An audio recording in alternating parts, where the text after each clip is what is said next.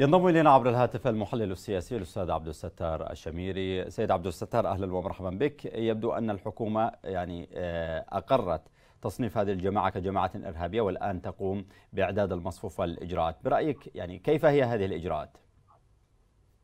بعد التحية لك وللمشاهدين الكرام أهلا بك. طبعا الحكومة تحاول أن تستكمل القرار الذي قام به مجلس الدفاع الوطني رقم واحد لعام 2022 وتحاول أن تفصل لوائح تنفيذية إجرائية عملياتية كي يكون له مردود على الأرض.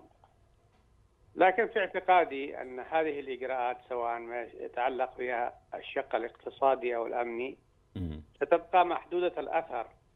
ذلك أن الميليشيات الحوثية ليس لها امتدادات اقتصادية خارج البلد يمكن الضغط عليها.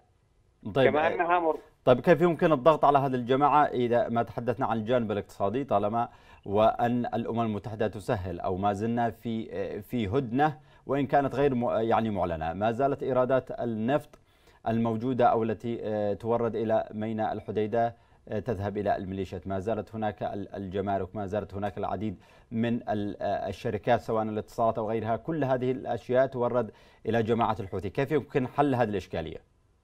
نعم في هذه الحالة نحن نحتاج إلى إجراءات أكثر منها إجراءات إدارية فنية كما هو الحاصل أو إعداد قوائم بالأسماء المطلوبين أم مطلوبين من من الإرهابيين الحوثيين أو تقديم هذه إلى مجالس حقوق الإنسان.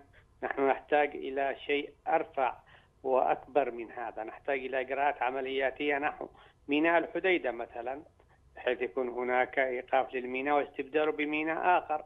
أو مواني نحن نمتلك مواني في اليمن كثيرة جدا ويمكن أن تقوم بالدور الإنساني. منع تدفق الجانب الإنساني والاقتصادي من ميناء الحديدة. هو خيار استراتيجي وليس خيار فني. هو خيار هو خيار في ظل أن هذه جماعة إرهابية. كيف جماعة إرهابية؟ وأنت تسلمها أهم ميناء تنعم به اولا بالنفط طيب يعني ما, الذي بيد الحكومة أستاذ عبد الستار حتى تقوم بهذا الإجراء؟ كيف يمكن للحكومة أن تقوم بإيقاف هذا الميناء؟ يعني ان, إن لم يكن هذا الإجراء يتبعه يعني عمليات عسكرية؟ لا لا تحتاج لعمليات عسكرية على الإطلاق.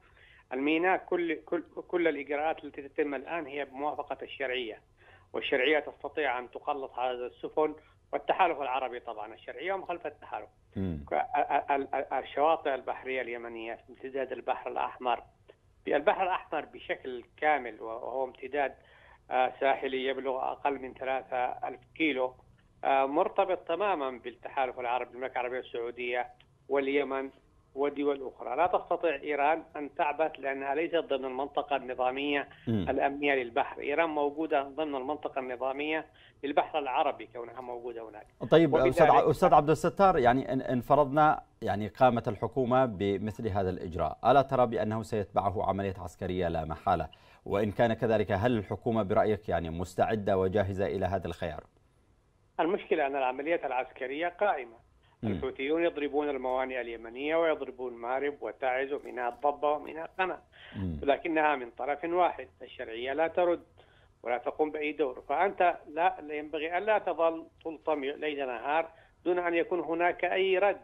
ينبغي أن يكون هناك على الأقل إذا كنت لن ترد عسكريا فهناك إجراءات اقتصادية. يعني مثلا تنشيط ميناء المخل جاهز الآن لاستقبال معظم الدعم الإنساني وغير الإنساني. بعد ذلك اجبر الحوثي على فتح طرق لتلقي هذه هذا الدعم من طرق تعز أو من طرق الضالع أو من غيرها. هناك إجراءات عملياتية تحتاج إلى إرادة وهمة وقيادة. طيب على عجالة لأني لا أمتلك الوقت الكافي أستاذ عبد الستار يبدو أن اتخاذ مثل هذه الإجراءات سي سيأخذ وقت وكذلك إن اتخذت مثل هذه القرارات وهذه الإجراءات ستأخذ وقت أيضا لحل الإشكالية بشكل عام يعني خصوصا أننا نرى تحركات عمانية وتحركات دولية للمقاربة بين الأطراف إلى أي مدى هذه الإجراءات يعني تبعد السلام عن اليمن ليس هناك في هامش الطاولات الآن حديث عن سلام إطلاقا. ما يدور الآن هو حديث عن أشياء جزئية عن هدى. موضوع السلام انتهى من مبادرة جونكيري في فترة سنوات. موضوع الحل العسكري أيضا اختفى. الحديث الأممي الآن يتحدث عن مقدمات بعيدة عن السلام وهي هدنة أو نجاح في تمرير تدفق الطاقة. ولذلك حتى تعود إلى مربع السلام وحتى يكون هناك توازن ضاغط.